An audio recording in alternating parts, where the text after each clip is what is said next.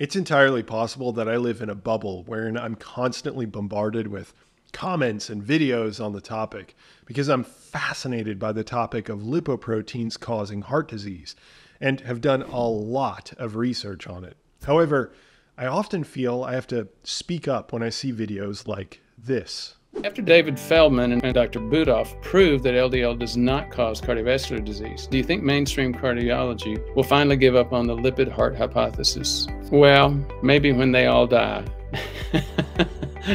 old concepts die hard. You know, uh, old concepts tend to have a lifespan of the people that hold them. It may sound like I'm joking, but I'm actually serious. I think a lot of people are not going to give up on the lipid heart hypothesis in their lifetime. That's Dr. Brewer reading a comment discussing a series of studies that have been performed on lean mass hyperresponders, which is a subset of people that, once they consume a low carbohydrate diet, they experience high, low density lipoprotein levels. Those are the uh, particles that carry our cholesterol and triglyceride molecules across our body.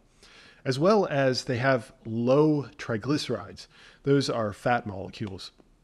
And these people also experience elevated high density lipoproteins, which are particles that also carry cholesterol molecules, but are typically involved in returning the cholesterol molecules to the liver instead of away from the liver, like the low density lipoproteins. Okay, so this elevated LDL, HDL, and low triglycerides in normal weight individuals has been deemed the lean mass hyperresponder. And we can even see that evidenced here in one of the analyses on the phenomenon. And here is some of the data across several studies. We're looking at the overall LDL change on a lower carbohydrate diet.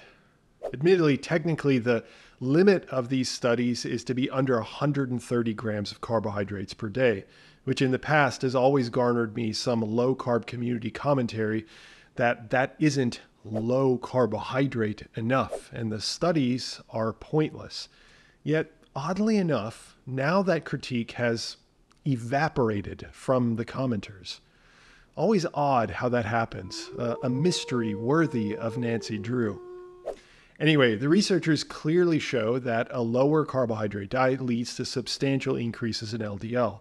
That's the low density lipoproteins on the vertical axis, but only in people that are low BMI, thereby classically normal weight, shown on the horizontal axis.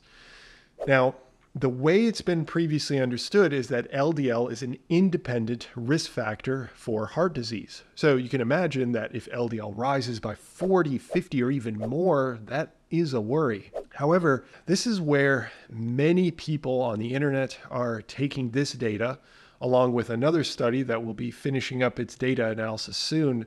We'll call this study the LMHR prospective study and absolutely going buck wild on the established idea that LDL and the protein associated to it, ApoB, is causative for heart disease.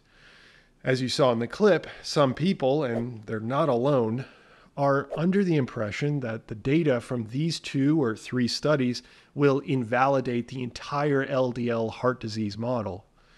At no fault of the researchers, I think some people are grossly misunderstanding what these studies really show. Some are letting their bias and general lack of knowledge about the literature drive this narrative that LDL ApoB heart disease model is now dead. And I do think that some health influencers are not contextualizing these results sufficiently. And in some of the worst cases, not at all. So, what does this all mean? First off, the lipid heart hypothesis, which the LDL ApoB heart disease model is involved, has a tremendous amount of data backing it. As proof, I'm going to have these studies showing the link between ApoB, LDL, and heart disease move across the screen for the rest of the video as a demonstration of exactly how overwhelming the evidence really is. This evidence does not mean that there still can't be exceptions to the rule which is exactly where the studies like the LMHR studies can play a critical role to show the exceptions, a subgroup of people who may be immune to the general rule of ApoB containing particles being causative to heart disease. However, for that to occur, We need bulletproof evidence, which none of the studies up to this point provide.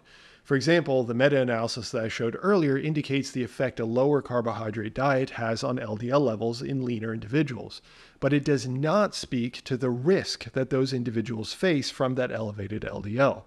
Or often, I get lambasted with the age old argument of all studies in LDL or ApoB are associative, so basically junk science. And yet now, the one study looking at the actual heart disease risk in lean mass hyperresponders is associative. And yet, just like the Nancy Drew joke that I threw in earlier, those criticisms have conveniently vanished. The hypocrisy is palpable. Finally, if you are a person who believes that LDL or ApoB is not a risk factor for heart disease and you follow a health influencer that discusses this stuff, ask yourself, why haven't they covered any of the studies on screen? With all this data, you would think in an impartial, truth seeking person, they would at least open a few of these and explain the data therein. And yet, there's an outsized, sometimes exclusive focus on the minority disagreeing data. So I think a responsible, science minded, truth seeking person would take all this data inside all these studies and acknowledge that it exists, along with the hard work of hundreds of researchers, and then take the new data, like that of future lean mass hyperresponder studies or data from other studies, and, if warranted, integrate it into a new working model instead of myopically concentrating on the select few and ignoring the gigantic mountain behind us. Oh, and a few quick facts. There are over 100 scientists in just the studies shown, many more in the field. There are over 1 million people studied here. And there are over 30 studies shown on screen, including 100 plus within these analyses. I'm not saying there isn't room for new information. Of course there is. But I am saying, do you really want to tell all these people that they're corrupt or idiots in their field? Criticisms that I see all too often without even bothering to open their work or can we pay them a bit of respect and assume that they know at least a little bit more than we do and acknowledge that we could learn from their work? We'll see what the future holds. Remember, integrate, don't ignore.